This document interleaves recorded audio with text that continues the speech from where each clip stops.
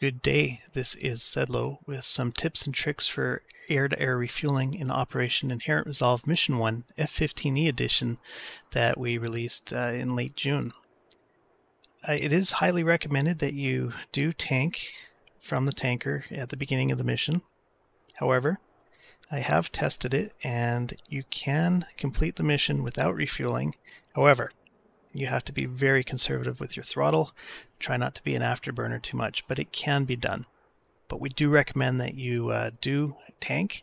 If you don't know how to tank, do practice at it. It takes some practice, but once you get it, uh, there's not much more in the simulation world more satisfying than uh, refueling. So, highly recommend it.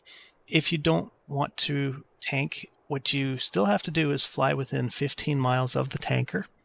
And when you get there, AWACS will push you to their frequency, and you do have to change to their frequency. While you're there, send your wingman into tank because the AI is not great with fuel management. If you don't, chances are they're going to run out of fuel. And don't forget, you always command your wingman on the aux radio. They'll always be on aux 18. So whatever commands you send to your wingman at any time during the mission, use the aux radio. Now, uh, once you are uh, over on the tanker frequency, you can check out with the radio menu F10 option.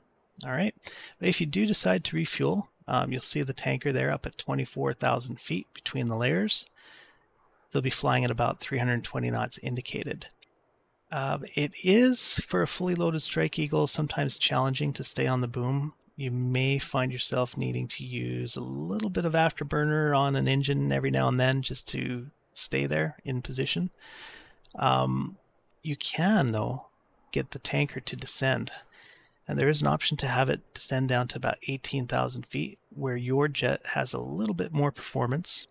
To do that, you access it via the radio menu, F10 option, tanker speed and angels. So you'll select that. There's an option for 18,000 feet. You select that, and the tanker starts to descend. Conversely, once it's down there, if you want it to go back up, same thing, radio menu F10 option. I hope you find this uh, useful and uh, take care for now.